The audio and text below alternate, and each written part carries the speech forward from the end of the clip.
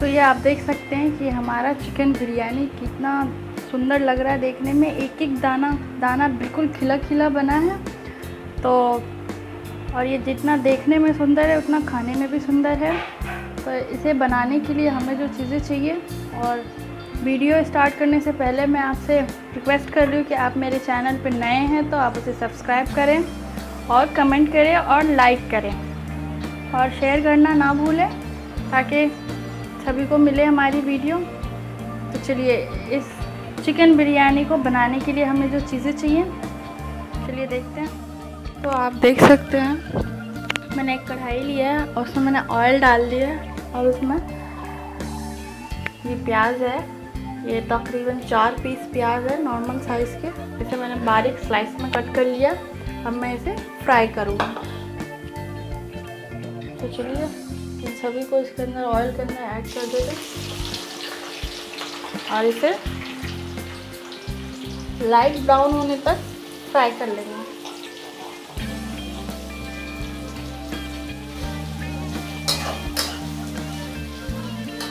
मैंने सबसे पहले प्याज फ्राई किया इसलिए क्योंकि ये प्याज काफ़ी सारा है।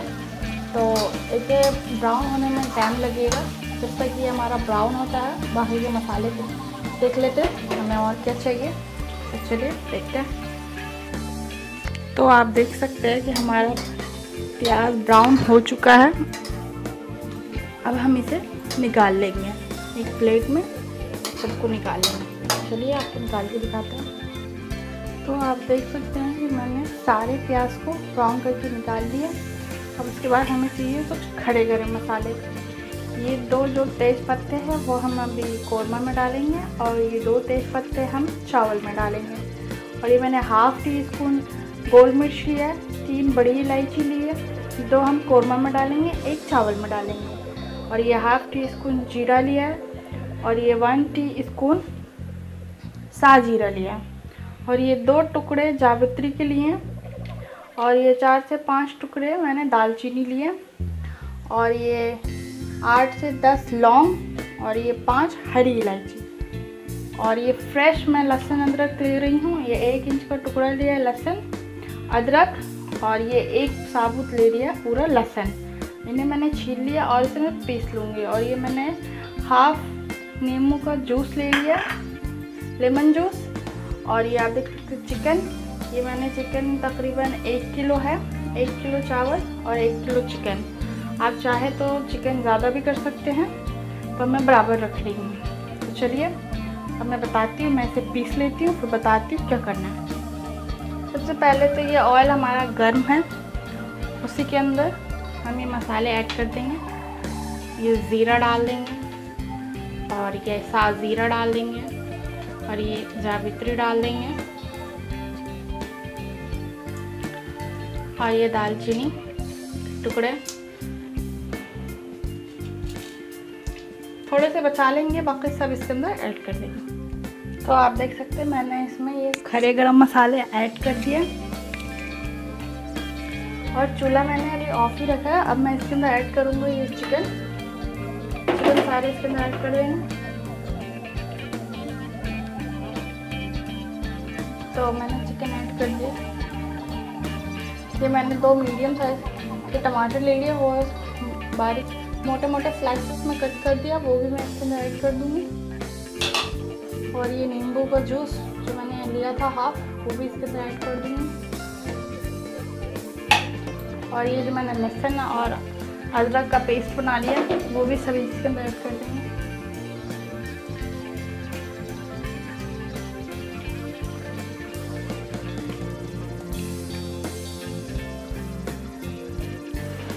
तो ये आप देख सकते हैं। ये मैंने दही लिया, पचास ग्राम। वो भी इसके अंदर हम ऐड कर देंगे। मैंने आठ हरी मिर्च लिए ये हमारे तीखे कम हैं, इसलिए मैंने इसमें आठ लिया अगर आपका हरी मिर्च बहुत ज़्यादा तीखा है तो आप कम डालें। अब मैं इसके अब मैं इसके अंदर ऐड करूँगी। ये हमारा पुदीना पत्ता। ये इसके अंदर ऐड करूँगी। और ये हरा धनिया पत्ता। सभी को इसके अंदर ऐड कर देंगे। अब इसके अंदर हम डालेंगे मसाले। तो चलिए, हम इसमें मसाला ऐड कर दें। मसाला में धनिया पाउडर, वन चम्मच, एक चम्मच, हल्दी पाउडर, हाफ़ टी स्पून नमक, आप अपने टेस्ट के अकॉर्डिंग डालें। लाल मिर्च पाउडर एक चम्मच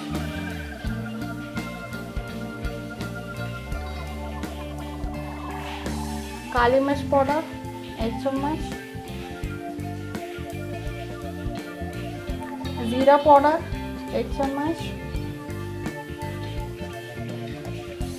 ये गरम मसाला पाउडर हाफ़ चम्मच अब इन सबको करेंगे अच्छे से मिक्स फिर मैं आपसे मिलती हूँ। तो आप देख सकते हैं, इसको मैंने अच्छे से मिक्स कर लिया। अब मैंने चूल्हा ऑन किया है और उसके बाद मैं इसे ढककर पकने दूँगी। अच्छी तरीके से हमारा चिकन गल जाए और पानी खुश्क हो जाए, तब तक हम इसे पका लेंगे। चलिए, फिर आपसे मैं मिलती हूँ। तो आप देख सकते हैं कि हमारा चिकन कितनी अच्छी तरीके से बॉयल हो चुका है। अब इस स्टेज पे हम ऐड करेंगे। कि जो हमने प्याज ब्राउन किया था ये सारे इसके अंदर ऐड कर देंगे।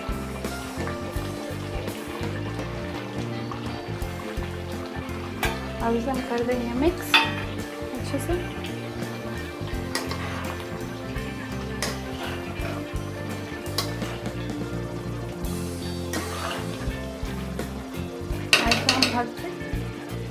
लो फ्लेम कर देंगे ताकि जो हमारा प्याज वगैरह जो भी मसाला है, टमाटर, वो अच्छी तरीके से गल जाए। तो चलिए इसे हम लो फ्लेम पे रखते हैं, पकने देते हैं। चले इसे बीच बीच में चलाना भी है हमें। ये देखें। इस स्टेज पर आकर ये हमारा मिल्क ये मैंने हाफ़ ग्लास लिया। वो आप इसके अंदर ऐड कर दें। फिर दोस्तों दूध डालने से बहुत ही बढ़िया फ्लेवर आ जाता है।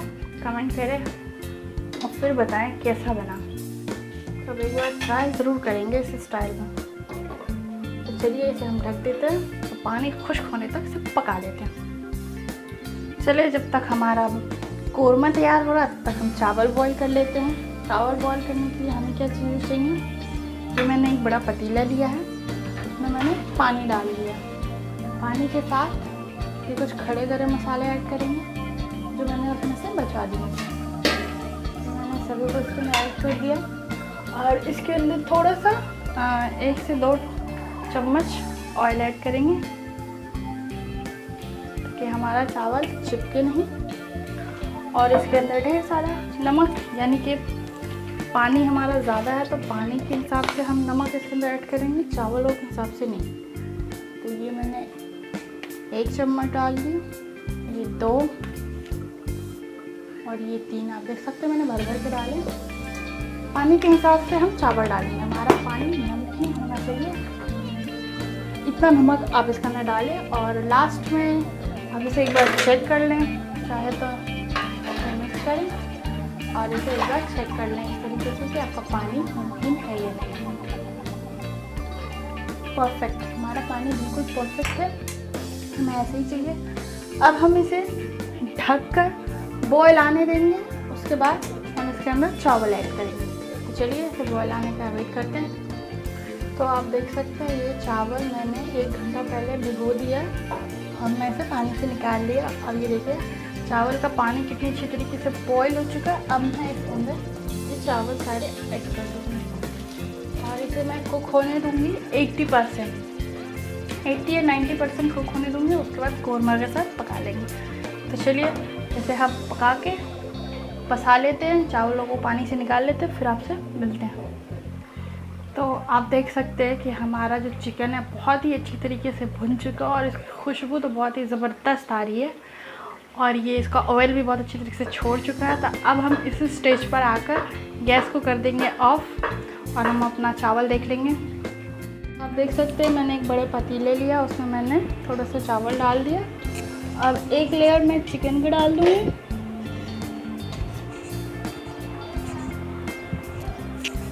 तो इस तरीके से मैं एक लेयर चिकन का डाल दूँगी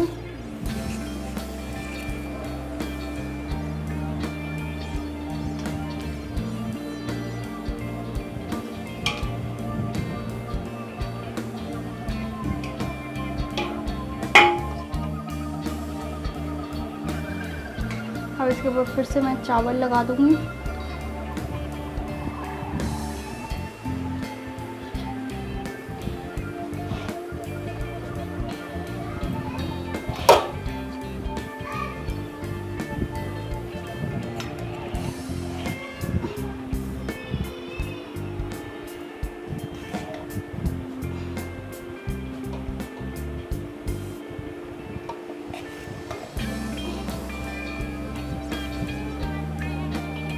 तरीके से चिकन का लेयर लगा लेंगे और उसके बाद हम ये कुछ मसाले हैं। ये देखें कि मैंने एक बारीक स्लाइसेस में टमाटर काट लिए, एक स्लाइसेस में नींबू और ये कुछ धनिया पत्ता, पुदीना का पत्ता और ये हरी मिर्च, साबुत डालेंगे और ये हरा धनिया पत्ता और ये फ्राई किया हुआ प्याज। अब इसकी हम एक इस तरीके से लेयर लगा लेंगे।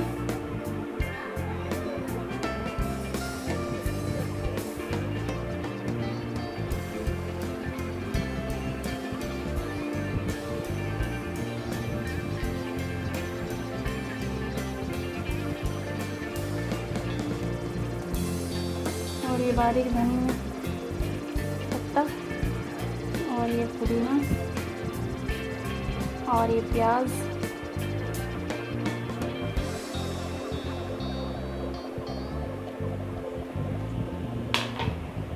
और इसके ऊपर हम डालेंगे जरबे का रंग जिसे मैंने पानी में घोल लिया।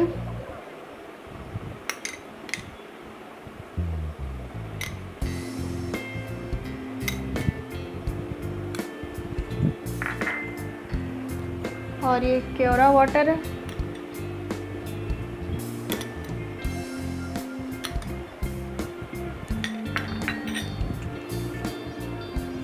इसके ऊपर हम फिर से थोड़ा सा डालेंगे चावल।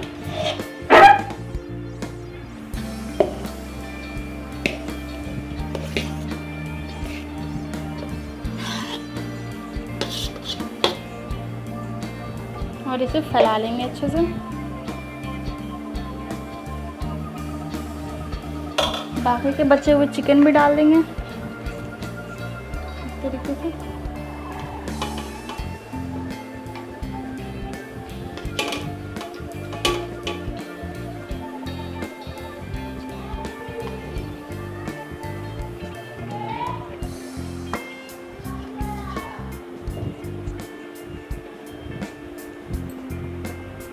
तो ये देख सकते हैं, मैंने इसके ऊपर सारे चिकन ऐड कर दिए।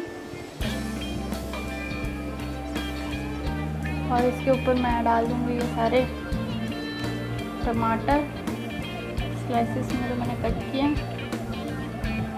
और ये लेमन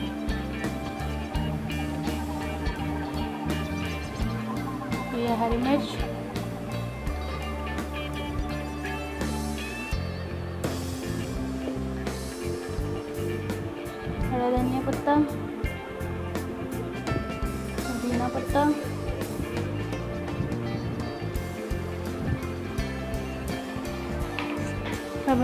ऊपर बाकी के बचे हुए चावल, वो मैं इसमें ऐड कर दूँगी।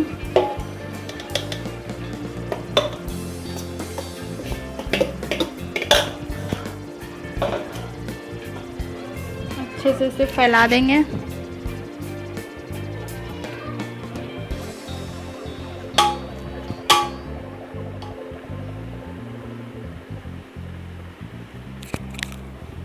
बाकी के मसाले इसके ऊपर डाल देंगे इससे पहले मैं इसमें ऐड करूँगी ये जरबे का रंग।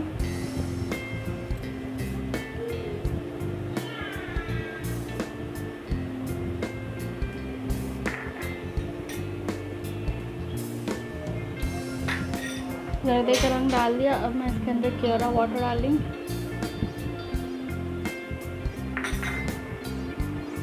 ये मैंने येलो कलर का जर्दा रंग डाला है, अब मैं इसको रेड कलर का थोड़ा सा पाउडर छिड़क दूँगी इसका कलर बहुत ही बढ़िया है। बिरयानी का कलर आप देख सकते हैं पाउडर ही मैं डाल रही हूँ। चलिए हो गया। तो मैंने इस पर ये रंग डाल दिया। अब मैं इस पर ये हरा धनिया डाल दूँगी। बारीक कटा हुआ। ये कुछ पुदीने के पत्ते। और ये फ्राई ऑनियन।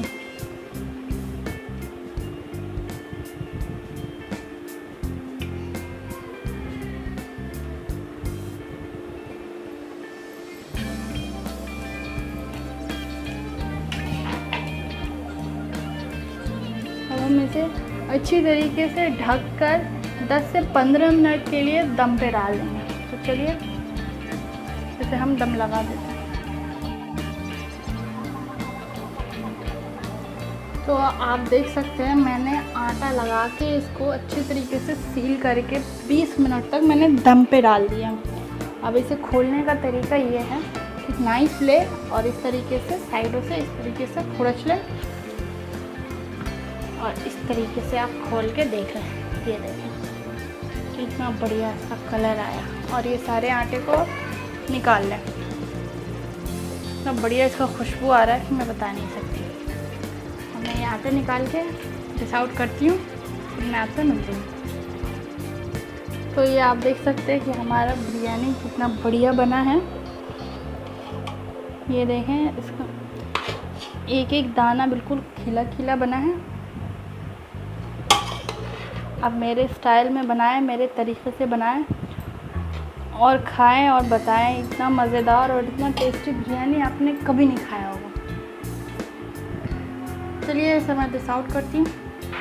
तो ये देखिए, हमारा चिकन बिरयानी बन के बिल्कुल रेडी है।